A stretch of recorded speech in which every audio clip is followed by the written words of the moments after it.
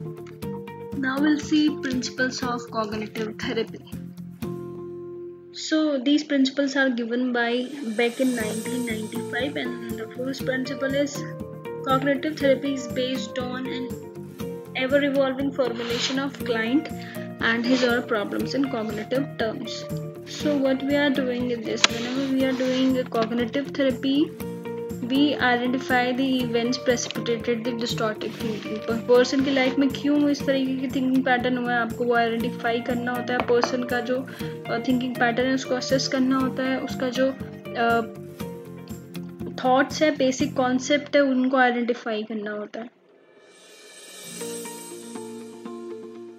Then principle two cognitive therapy requires a sound therapeutic alliance.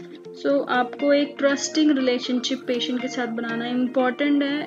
The therapist must convey warm empathy caring genuine positive regard आपको देना ज़रूरी है। Whenever we are you are going to give cognitive therapy third principle is cognitive therapy emphasizes collaboration and active participation so active active participation from both sides आपको क्या करना है, जो person है, जो आपका क्लाइंट है, उसको एम्फोसाइज करना है कि वो एक्टिवली पार्टिसिपेट करे कोलैबोरेट करे हर सेशन में। आप उसको असाइनमेंट्स देंगे या छोटे छोटे टास्क देके होमवर्क देंगे नेक्स्ट सेशन में उनको वो कंप्लीट करके आए। This is how you will make him active participant then principle 4 says cognitive therapy is goal oriented and problem focused. So whenever we are going for cognitive therapy, our goal is to correct the cognition then हम focus जो person की problem है क्या उसका cognitive error हुआ है आप उसको फोकस करते हैं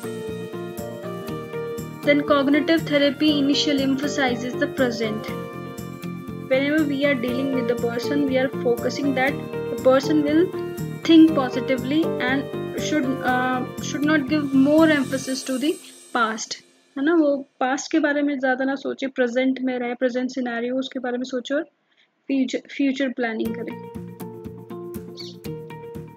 Next is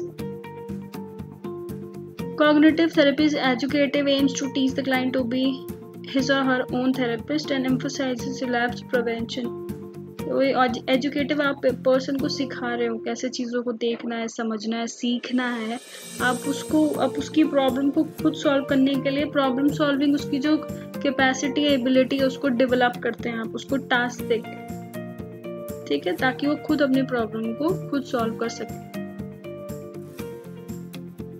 Cognitive therapy aims to be time limited आप सेशंस ऑर्गेनाइज करते हैं। स्टार्टिंग में बाई वीकली सेशन होते हैं, यानी कि वीक में दो बार, फिर आप धीरे धीरे उनको one once in a week कर देते हैं। उन वो सेशन आपके 45 टू 60 मिनट्स के होते हैं तो टाइम लिमिटेड है। उतने टाइम में ही आपको वो सेशंस में सारी चीज़ें कंप्लीट करनी है पेशेंट के जो कॉग्निशन एरर है, उनको करेक्ट करना होता है। Cognitive therapy sessions are structured सारी चीज़ें आपकी स्ट्रक्चर्ड होती है। आप जब भी सेशन के लिए जा रहे हैं, उसके लिए पूरी प्लानिंग करके जाते हैं। फिर आप नेक्स्ट सेशन के लिए टास्क दे देते हैं पर्सन को। फिर आप जब नेक्स्ट सेशन में आ रहे हैं लास्ट वीक जो जो टास्क दिया था उनको रिव्यू करते हैं। कोलैबोरेट पर्सन कर रहा है, नहीं कर रहा है, उस चीज़ को चेक करते हैं, उसके होमवर्क को चेक करते हैं। कितना इम्प्रूवमेंट हुआ उसको चेक करते हैं। फिर जो प्लानिंग आपने की है, उसको रीप्लान करके और जब पूरा प्रोग्राम पूरा आपका सेशन कंप्लीट हो जाता है, एक सेशन लास्ट में उसको सेशन को समराइज करना तो पूरा जो है आपका कॉग्निटिव थेरेपी वो क्या है सेशन स्ट्रक्चर्ड होता है। Cognitive therapy teaches client to identify, evaluate and respond to their dysfunctional thoughts and beliefs. आप सिखाते हैं पेशेंट को। आप उसको एक्टिव पार्टिसिपेशन के लिए इनकरेज कर रहे हैं। तो इस वजह से वो सीखता है कि कैसे आइडेंटिफाई करना है प्रॉब्लम्स को डिसफंक्शनल थॉट्स को खुद उसको समझाते हैं कि उसको खुद पता चल जाए कि यहाँ पे उसका जो थिंकिंग है वो थिंकिंग एरर हो रहा है उसका। ठीक है तो वो आप आइडेंटिफाई करना सिखाते हैं, उसको इवेलुएट करना सिखाते हैं और सिचुएशन के लिए वो थिंकिंग एरर ना यूज़ करके करेक्टली कैसे रिस्पॉन्ड करना, सारी चीज़ें आप उसकी डेवलप करते हैं और कोर बिलीफ से भी काम किया जाता है।